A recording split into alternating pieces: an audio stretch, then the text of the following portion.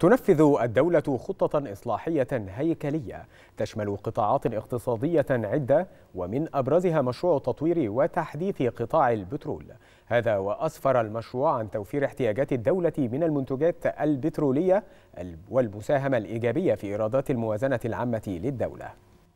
خطة إصلاحية شاملة عمدت على تنفيذها الدولة بهدف تطوير وتحديث قطاع البترول وهو المشروع الذي ساهم بدور كبير في النجاحات التي تم تحقيقها في جميع أنشطة الصناعة البترولية المصرية خلال الفترة الماضية والتي يأتي على رأسها تحسن الإنتاج. في عام 2016 تم إطلاق مشروع التطوير وتحديث قطاع البترول الذي شمل عددا من الإصلاحات الهيكلية بهدف مواكبة المتغيرات والتحديات العالمية والمحلية في صناعة البترول. البترول برنامج المشروع تضمن جذب الاستثمارات في مجال البحث والاستكشاف وبرنامج الإصلاح الهيكلي وأيضا التنمية البشرية بالإضافة إلى تحسين أنشطة برنامج التكرير وبرنامج تحسين أداء الأنشطة الإنتاجية وبرنامج تحويل مصر لمركز إقليمي للطاقة فضلا عن برنامج دعم واتخاذ القرار. مشروع طموح أسمر عن توفير احتياجات الدولة من المنتجات البترولية فضلا عن كونه أصبح مساهما إيجابيا في إيرادات الموازنة العامة للدولة بالإضافة إلى مساهمته في زيادة معدلات نمو الاقتصاد القومي وتحقيق استدامة توفير موارد الطاقة للبلاد وتحسين المؤشرات الاقتصادية. كما أن مشروع تطوير وتحديث البترول يضع القطاع على مسار التميز والانطلاق والاستدامة باعتباره مبادرة رائدة تعمل على استشراف المستقبل وتركز على تعزيز القدرات الإنتاجية والبشرية والتكنولوجية حتى يتمكن القطاع وكوادره من أداء دورهم بفاعلية ومواكبة الرؤى الطموحة للاقتصاد المصري.